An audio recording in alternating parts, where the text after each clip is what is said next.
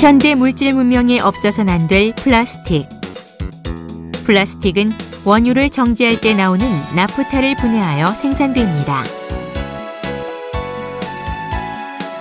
나프타는 보시는 바와 같이 여러 개의 탄화수소가 결합된 선형으로 구성되어 있으며 분해 공정을 통하여 에틸렌과 프로필렌으로 전환됩니다.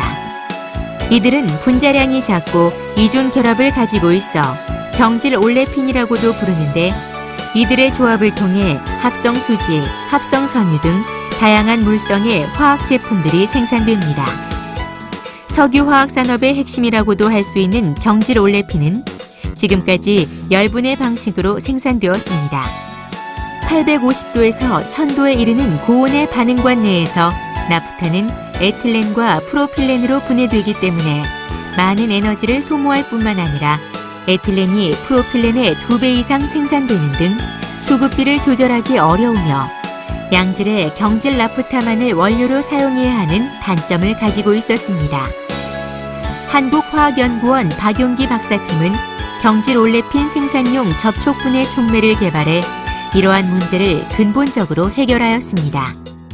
그동안은 이제 전 세계적으로 모든 올레핀을 열분해 기술로 이제 생산을 해왔어요. 열분해라는 건 그냥 촉매나 이런 거 넣지 않고 그냥 열로만 분해를 하는 그런 기술이고요.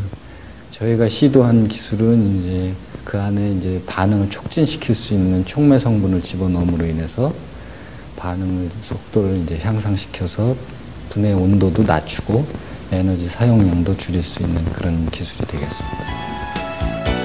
경질 올레핀 생산용 접촉분해 촉매는 70에서 100 마이크로미터 크기를 갖는 구형 입자로서 실리콘, 알루미늄, 산소로 이루어진 5옹 스트롬 정도의 크기를 갖는 세공이 3차원 구조를 이루는 GSM5라는 제올라이트를 주성분으로 하며 탄화수소 접촉 분해에 매우 유리한 특징을 가지고 있습니다. 본 촉매는 탄화수소 내 탄소 결합의 힘을 약화시켜 낮은 온도에서도 나프타를 쉽게 분해할 수 있게 하며 특성 변화를 통해 생산되는 에틸렌과 프로필렌의 비율을 조절할 수 있게 합니다. 한편 연구팀은 고온의 반응 조건을 감안하여 고수열 안전성 촉매를 제조하였으며 가혹한 운전 조건에서도 견딜 수 있는 고강도 촉매 성형 기술을 적용해 상업적 적용이 가능한 촉매를 개발했습니다. 개발된 경질 올레핀 생산용 접촉분해 촉매를 적용한 ACO 공정은 기존의 열분해 공정과 많은 차이가 있습니다. 반응기 내에서 뜨겁게 달궈진 촉매는 라이저라는 반응기로 이동해 나프타와 만나게 되며 위로 이동하는 과정 중에 나프타를 경질 올레핀, 즉 에틸렌과 프로필렌으로 분해하게 됩니다. 라이저 상부에 도달한 촉매와 경질 올레핀은 사이클론의 원심력에 의해 분리되고 촉매는 재생기로 보내집니다.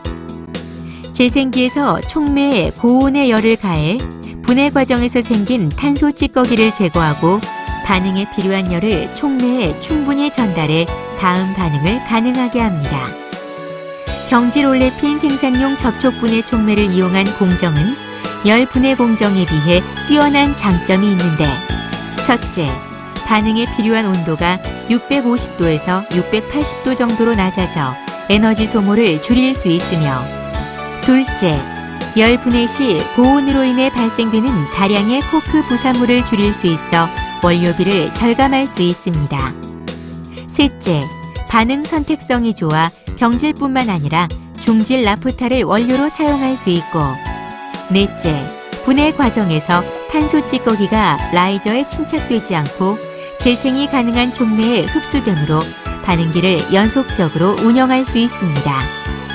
본 기술은 공정에 소요되는 에너지를 절감함은 물론 경질 올레핀 생산량을 20% 이상 증대시킬 수 있으며 수급상 부족한 프로필렌을 에틸렌 대비 80에서 120%까지 생산할 수 있어 높은 경제성을 검증했습니다.